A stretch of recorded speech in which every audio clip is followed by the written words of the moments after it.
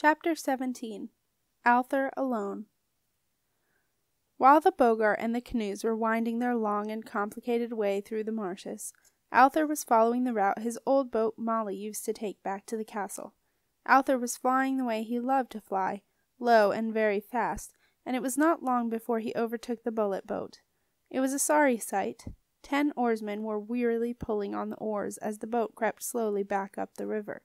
Sitting in the stern of the boat was the hunter, hunched, shivering, and silently pondering his fate, while in the prow the apprentice, to the hunter's extreme irritation, fidgeted about, occasionally kicking the side of the boat out of boredom, and in an effort to get some feeling back into his toes. Alther flew unseen over the boat, for he appeared only to those he chose, and continued his journey. Above him the clear sky was clouding over with heavy snow clouds, and the moon had disappeared, plunging the bright snow covered river banks into darkness. As Alther drew nearer to the castle, fat snowflakes began to drift lazily down from the sky, and as he approached the final bend in the river that would take him around Raven's Rock, the air became suddenly thick with snow. Alther slowed right down, for even a ghost can find it hard to see where he's going in a blizzard, and carefully flew on toward the castle. Soon, through the white wall of snow, Alther could see the glowing red embers that were all that remained of Sally Mullin's tea and alehouse. The snow sizzled and spat as he landed on the charred pontoon, and as Alther lingered for a moment over the remains of Sally's pride and joy, he hoped that somewhere on the cold river the hunter was enjoying the blizzard. Alther flew up the rubbish dump, past the discarded rat door, and made a steep ascent over the castle wall. He was surprised how peaceful and quiet the castle was. He had somehow expected the upheavals of the evening to show, but it was past midnight by now, and a fresh blanket of snow covered the deserted courtyards and old stone buildings. Alther skirted around the palace and headed along the broad avenue known as Wizard Way, that led to the Wizard Tower. He began to feel nervous. What would he find? Drifting up the outside of the tower, he soon spotted the small arched window at the top that he had been looking for. He melted himself through the window and found himself standing outside Marcia's front door, or so it had been a few hours earlier. Alther did the ghost equivalent of taking a deep breath, and composed himself.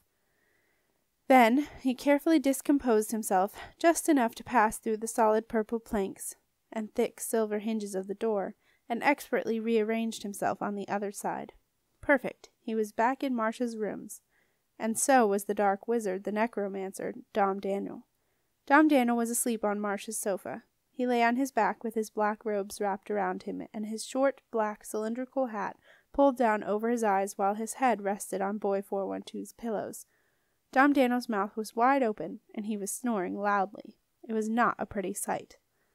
Alther stared at Dom Daniel, finding it strange to see his old master again in the very same place where they had spent so many years together. Alther did not remember those years with any fondness, even though he had learned all, and much more than he had wanted to know, about magic. Dom Daniel had been an arrogant and unpleasant extraordinary wizard, completely uninterested in the castle and the people there who needed his help, pursuing only his desire for extreme power and eternal youth, or rather, since Dom Daniel had taken a while to work it out, eternal middle age. The Dom Daniel who lay snoring in front of Alther looked at first glance much the same as he had remembered him from all those years ago. But as Alther scrutinized him more closely, he saw that all was not unchanged.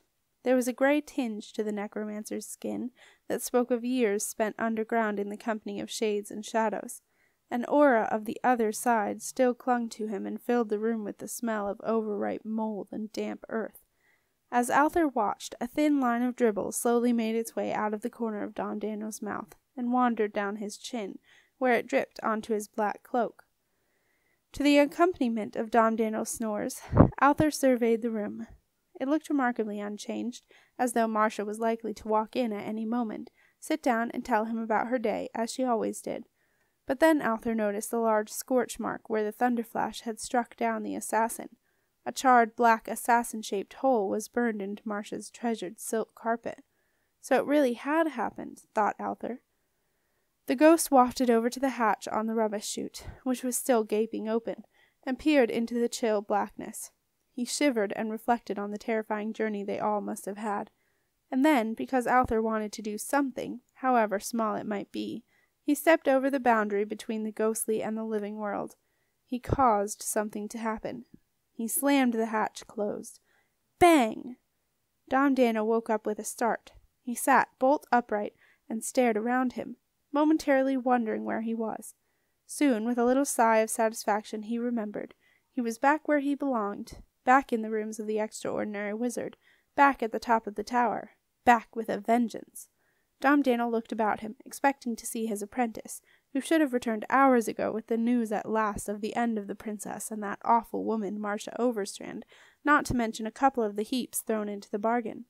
The fewer of them remaining the better, thought Dom Daniel. He shivered in the chill air of the night, and clicked his fingers impatiently to rekindle the fire in the grate.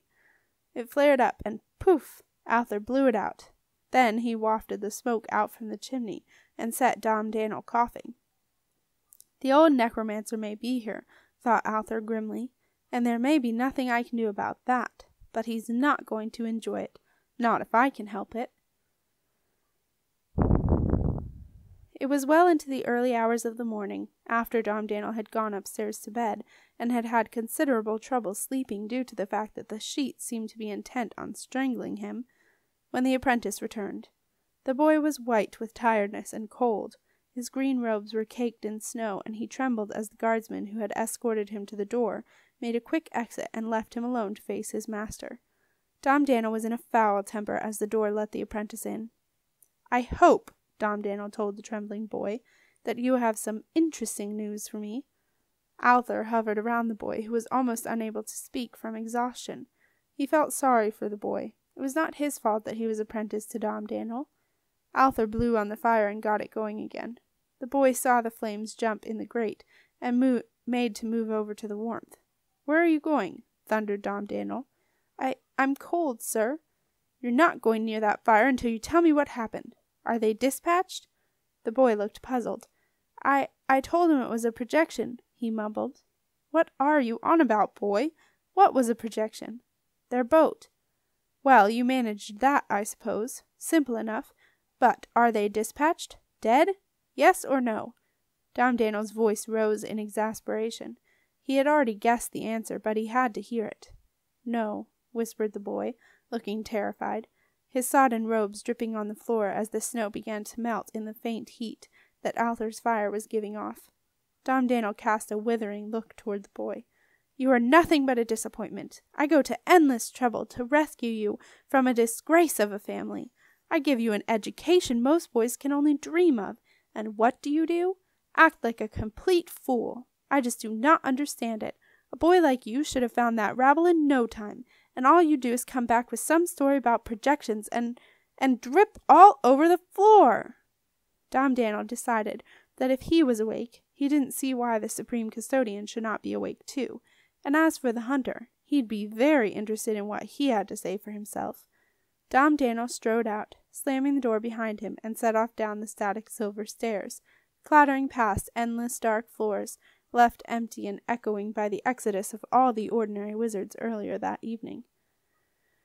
The wizard tower was chill and gloomy with the absence of magic. A cold wind moaned as it was drawn up as though through a huge chimney, and doors banged mournfully in the empty rooms.